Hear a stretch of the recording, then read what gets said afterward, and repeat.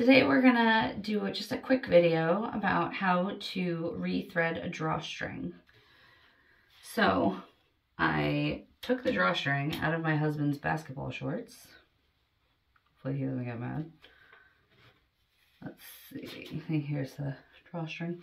They're elastic, so it's really not even that important, but they can come out of hoods and pants and it's very unfortunate when that happens. Now, of course, I have to find where the holes were. Is the back or the front? Oh, they were in the middle. they were on the inside. Okay, so the first way I'm going to show you is with this handy tool that you can buy. I think I bought this at Joann's. You might be able to buy this at like Walmart or Michael's um, or Joann's, Hobby Lobby probably. So it has, let's see if you can see that, two holes at one end and it's just a long stick. It's in the package, I think, like this. So if you go looking for it, um, you know.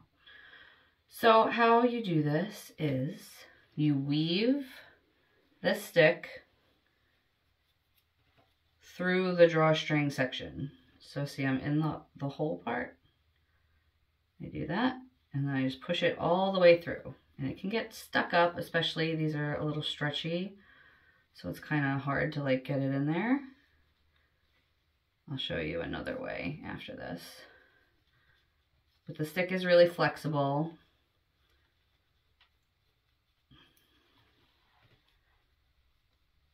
These pants are like permanently gathered, so that's why I keep getting caught up on the gathers. And of course, once you get more than halfway there, it's a little tricky because the you have to really like fold it and stuff it. You just work it through. Seams, you have to make sure you find in the middle of the seams. Not get caught up on the seam allowance. Seam allowance is a little bit of extra fabric between where you stitched and the edge of the fabric. So that gets pressed flat inside garments and that's why you can get kind of stuck in that a little bit. Keep going. And if you lose the stick end, it's not a big deal because it's that part is stiff. So you can work that back out really easy. And it's a blunt end. It's not pointy like the one you're working through right now. Almost there.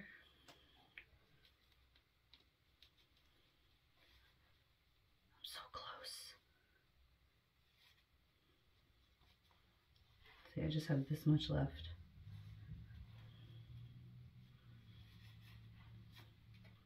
Obviously, the bigger the item, the little bit trickier it is to get it all on this stick together.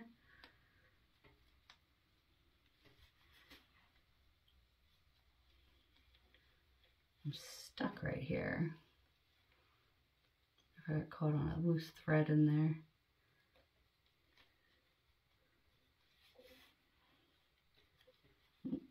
come back.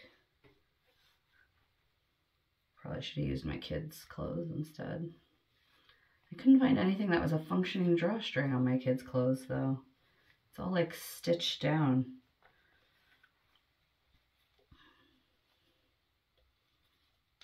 All right, almost there.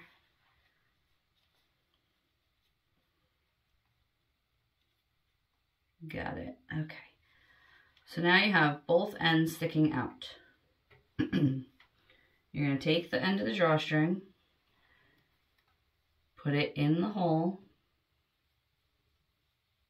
Oh, tell me this isn't going to fit. Eh, it's not going to fit in the littler one. It should fit in the bigger one. It's like a they hard plastic to the end. You do this a lot with like ribbons. It's easier. I'll get it in. Just gonna make a joke. All right, so that's in. It is pointy in the loop, if you can see that. It's pointy, so when you pull it back, it'll get kind of caught up in that point, which is good. And that's exactly what you want to do. You want to take from this end and you want to work it back through.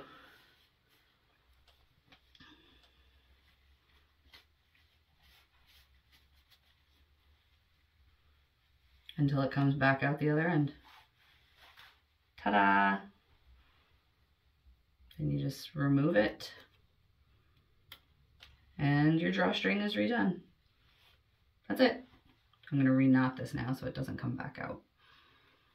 But that's the easy way to do it with this tool. Oh, I shouldn't have reknotted it because I'm going to do it again. Oh, Aimee. I knotted that really well. all right. So that's the way to do it with that tool. The tool I feel like is $10. It's really not a lot. If you're someone who loses a lot of drawstrings or one of your kids or spouse loses a lot of drawstrings, it's worth getting. If you can't find it in the store, just order it online. Just, I don't even know what it's called. Drawstring threader, puller, something like that. All right, so if you don't have that, you can use a safety pin. The bigger the pin, the better. This is all I could find right now in my house. So I'm going to pull this back out. I know, it kind of took a while. Now what you're going to do is put the end of the string on the pin. I like to puncture it twice. Then close the pin. If it's kind of a loose pin, I mean, I don't recommend this, but I'm going to do this right now. Bite it so it's a little less loosely opened. And now you're just going to take the pin, because the pin is a hard object, and you're going to weave that through the whole waistband. And it'll be the same kind of struggle that you had with the stick, getting the stick through. And it also takes a little longer because you got to like, you can only work like a couple inches at a time. You got to just feel it through.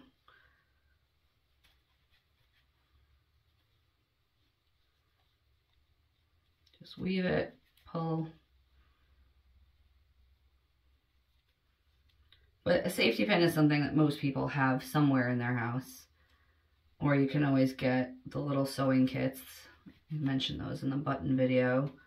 Um, at any convenience store, CVS, Walgreens, Rite Aid, Duane Reade. I'm trying to think of all the convenience stores I know about. Um, they all sell little sewing kits. They're like this big, little packages, and they have like needles, a few colors thread, maybe a button, a safety pin. I'm trying to think what else is in those things. That might be it. Tiny scissors. Oh, they have like a needle threader in there if you need such a thing.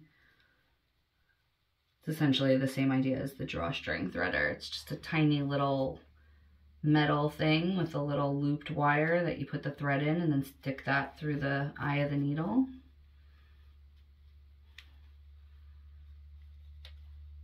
So that's a good thing to have just in general in your possession in case an emergency happens. Yeah, see now I'm stuck on my seam allowance at center back. So you gotta, when that happens, you just wanna push the pin back a little bit. You have to do a lot of this by feel, and that's a lot of sewing in general. You wanna try it, mm-hmm. where is the edge of the seam allowance?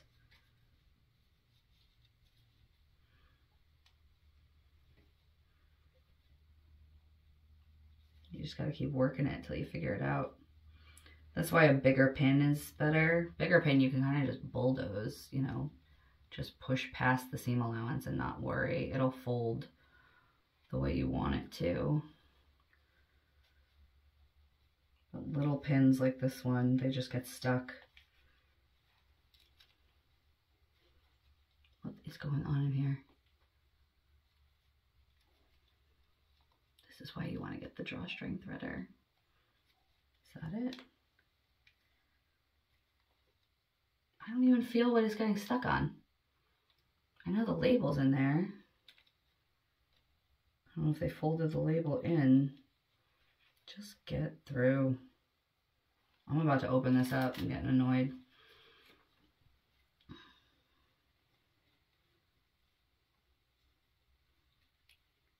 There's like four layers in there.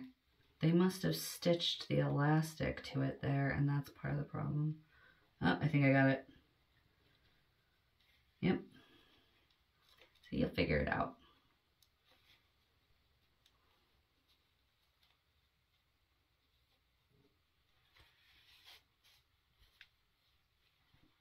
This is trickier, more time consuming for sure than the threader. But you gotta do what you gotta do, right? You don't want to throw out a whole hoodie or pair of pants because the drawstring got lost.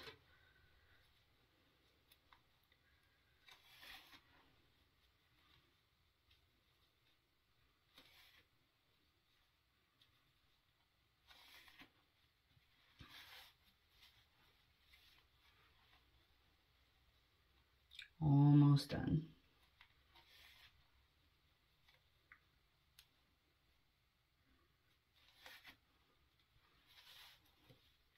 You want to keep stretching it out like that to suck the drawstring in from the other end because you're not going to be able to just keep pushing it and pushing it without more thread in there. Or cord, I guess you would call it. Almost there, just got this much more. And again, the bigger needle would have made this go faster. But it is what it is. I mean the pin. They make like like two inch safety pins. There it is. Ta-da! You just unpin it. Now I can reknot it because I'm not taking it out again. And we now have functioning drawstring yet again. So there you go two ways to rethread a lost drawstring. Good luck.